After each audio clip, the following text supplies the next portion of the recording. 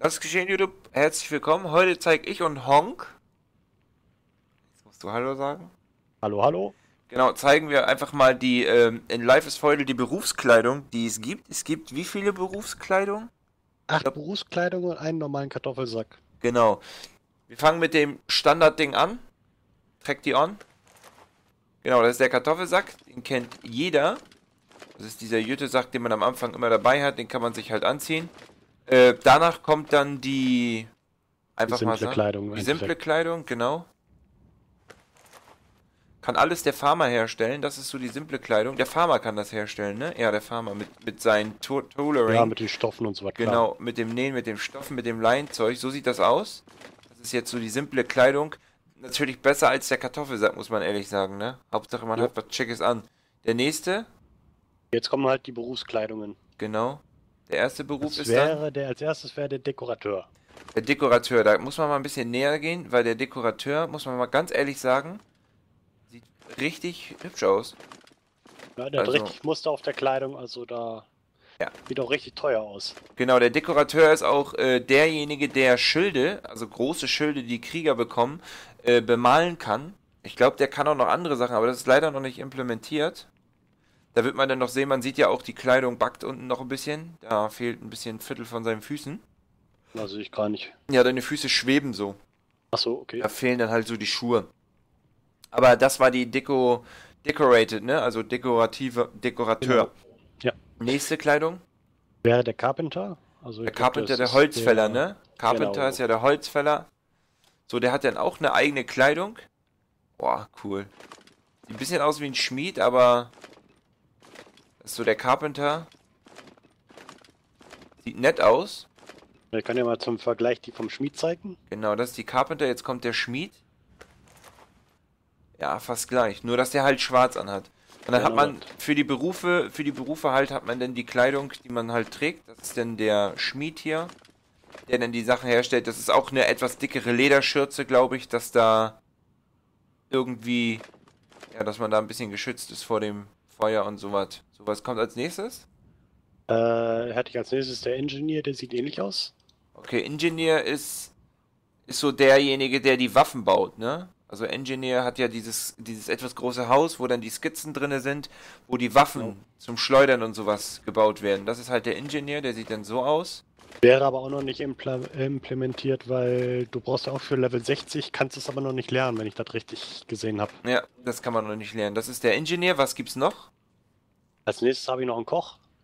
Ein Koch. Ja, der Koch, Koch, Koch gefällt mir. In weiß. Schön in weiß, so wie das ein Koch sein muss. Sieht super aus. Und was war noch? Den Alchemisten. Ah, ja, der Alchemist, der Kräuter sammelt. Das sieht auch wiederum äh, sehr schön aus. Finde ich aber ist mehr für weibliche Charaktere hübsch.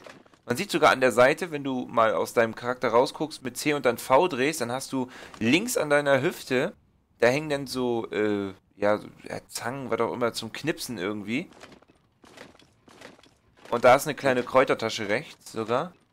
Und die ist hinten wenigstens zu, das gefällt mir. Die anderen Kleidungsstücke sind hinten irgendwie offen. Hast du noch irgendwas? Ja, das Beste zum Schluss. Das Beste zum Schluss, jetzt kommt's. Der Monk. Ja, Mann. Der Mönch, genau. Mönch gibt's auch, da werden, da werden bestimmt Kirchen oder sowas kommen oder so, irgendwie bestimmt. Man Ja, da das was ist einbauen halt hier, wenn man, ach, was war das jetzt? Wenn man Beats, also Glaube. Glaube Beten unten, genau, Pray. komplett auf 100 hat. Ja. Kardinals, Papst, also Pope, Elections, Ejects, EDC. Keine Ahnung, was das alles bedeutet, aber man kann da bestimmt irgendwas werden und Leute voll Ja, beten. da kann ich mal testen, den Skill, der, der mich bei 30 drin ist, den kann ich gleich mal testen. Ach, can pray your God agony increased only once in a real life day. Genau, man kann, es gibt auch eine, äh, eine Fähigkeit, also eine, eine, Dings, die du freischalten kannst, wenn du das auf 30 hast, das äh, PT, also das Pray, dass man sogar, ähm, also 20 Mal hintereinander beten muss und dann, ne, halt genau. Dann hat man das halt äh, 20 Mal am Tag gebetet und dann kriegt man auch so ein Achievement. Das sind die ganzen Berufe. Ja, das ist nicht nur das, auch da das Negativlevel, was du durch Leute Geht weg. angreifen und sowas machst, machst du jedes Mal damit weg. Ja, weil dann, du, du betest ja so für deine Sünden. Ich glaube, das gibt auch noch einen kleinen Buff, aber was da kommt. Dauert aber mal zeitlich, bis es. Aber du kannst es nicht immer direkt hintereinander machen. Das ist immer so für 20, 30 Sekunden, glaube ich, gesperrt. Nee, das gilt für einen Tag, sowieso nur das Beten. Also ein, das Beten ist einmal täglich, eh nur. Anders geht das gar nicht. Steht ja auch drinne. In dem Okay. Skilltree drinne. Guck mal, da steht bei 30 steht drinne, can pray your God, all meat increased only once in a real life day. Also einen richtigen Real Life Tag. Einmal kannst du das benutzen. Jeden Real Life Tag. Funktioniert das. Nicht schlecht. Das waren äh, auf jeden Fall die Berufe. Mehr gab es Achso, nicht. was man noch dazu oder? zu sagen Ja. kann, äh, dass man mindestens Level 60 dafür jeweils braucht, um die Sachen tragen zu können. In dem jeweiligen Bereich dann. In den jeweiligen Bereich, also Paint und, und, und sowas. Genau, okay. genau. Das ist gut zu wissen. Danke fürs Zusehen, danke an Honk und wir sehen uns beim nächsten Mal wieder. Tschüss, bis dann. Ciao.